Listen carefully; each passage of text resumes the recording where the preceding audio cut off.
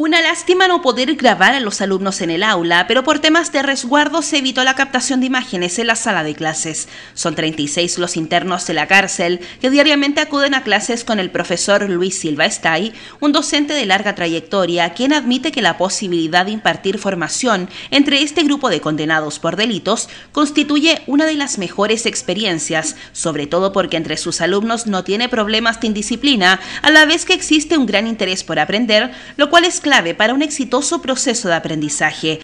Para mí esto ha sido muy rico, trabajar con gente que realmente necesita del apoyo de la sociedad para poder lograr una reinserción. ¿ah? Porque la mayoría acá llega sin su enseñanza completa y muchas veces no, no tienen nada que hacer. Entonces la escuela para ellos ha sido algo fundamental para poder tener su escolaridad. Por ejemplo, si ellos quieren postular la libertad condicional, tienen que tener escolaridad completa. Este martes llegó hasta el Centro de Cumplimiento Penitenciario de Calle Molina el alcalde Jaime Amar, con la intención de hacer entrega de útiles escolares a los alumnos, respondiendo así a una petición que le hizo el profesor Silva, quien advirtió que el material que entrega la JUNAEV para los internos es insuficiente.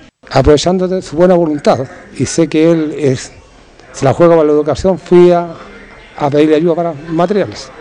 Y con esto ya tengo por lo menos para repartirle a los internos a todos, a lo menos un cuadro por alumno. El alcalde Jaime Amar, en tanto, enfatizó el trabajo que realiza el municipio de San Felipe en materia de educación, resaltando que la población penal que cursa su enseñanza es igual de importante como lo son los niños y niñas de los distintos establecimientos. Señaló que esta entrega de útiles es simbólica, que da cuenta de la preocupación por los internos de la cárcel de San Felipe. Lo más importante para nosotros es que la escuela, creemos y todos sabemos que la educación es uno de los elementos y el factor más importante de reinserción que puede tener la gente.